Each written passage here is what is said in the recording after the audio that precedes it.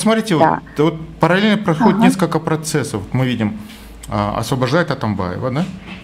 И естественно, что сразу в аналитических комментариях вот, постсоветских стран угу. появляется рассуждение, что э, революция а, проплачена людьми Атамбаева, либо им самим. А, еще один момент – это, опять же, с учетом прошедших выборов, да, той динамики, север-юг. Угу. Тот же рассуждает о политиках север против партии угу. юга. Да. Вы как считаете, соответствует ли это истине? Угу. Ну, смотрите, Оскар, э, у нас как бы э, зацепились вот такие очень долгоиграющие термины, да, клише, э, именно вот север-юг, когда мы пытаемся объяснить политику Кыргызстана, да. Но опять-таки, давайте вот начнем по порядочку их разрушать, эти мифы. Да? Возьмем этот север-юг. Смотрите, можно было бы сказать, что партии э, Бютун Кыргызстан и Мекимчи а, это националистические партии. А, в основном они собрали в себя выходцев из юга, Мадумаров, Ташиев, это выходцы из юга. А, ну и можно было бы, конечно, предположить, что основной электорат они соберут именно на юге. Это Баткенская область, Джалабадская, Ош.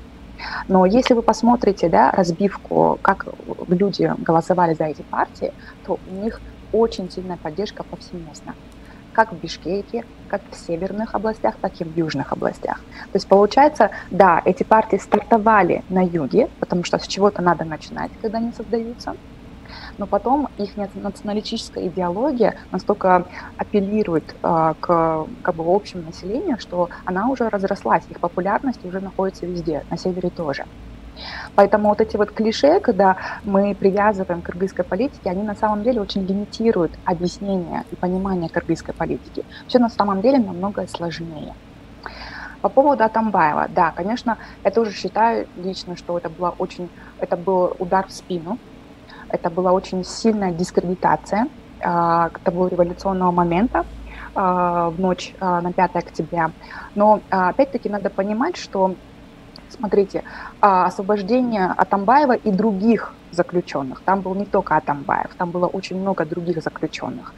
А, ведь это произошло при помощи всего лишь одной части, одной группировки тех революционных сил, которые были на тот момент на площади. Да? Ну, тот факт, что, конечно, силовики не смогли удержать ДКНБ, там, где они были заключены, что суды очень быстро а, как бы дали свое заключение о том, что их можно отпустить на волю, это, конечно, уже другой вопрос. Это именно вопрос о слабости институций в Кыргызстане. Да? А я не думаю, что в других авторитарных режимах так очень быстро можно было бы это сделать. А, но сегодня пошла очень сильная дискредитация революционного момента именно вот этим вот освобождением Атамбаева. Да?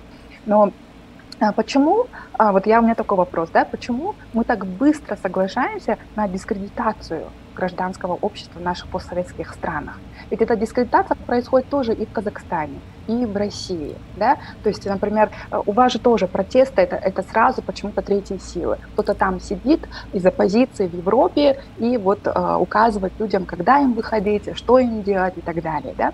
Это такое, это, э, мне кажется, как бы наша постсоветская такой legacy, да, то есть это такой багаж негативный, когда мы не верим в силу гражданского общества, и нам легче объяснить этот, этот беспорядок в кавычках тем, что кто-то вершит судьбу над народом, а народ такой глупый, никчемный, не может сам решить, что ему нужно. Да? Это вот эм, такое вот клише, а, оно очень, имеет очень негативные последствия, потому что население, гражданское общество очень мало верит в себя, свою способность на перемены. И поэтому это вот, например, сегодня очень много людей следят за этим революционным моментом в Кыргызстане через, ну, как бы с дивана, да, потому что они а, боятся поверить а, в эти перемены, они не доверяют. И это именно вот этот вопрос я вот э, обсуждаю в своей книге, э, пишу книгу на эту тему, э, где показываю, что вот это вот недоверие в силу гражданского общества, которое сложилось на протяжении независимости, на протяжении 30 лет, сегодня именно является основной проблемой коллективного действия. То есть люди не могут действовать коллективно, сообща, вот именно из-за того недоверия, которое сложилось в собственные силы.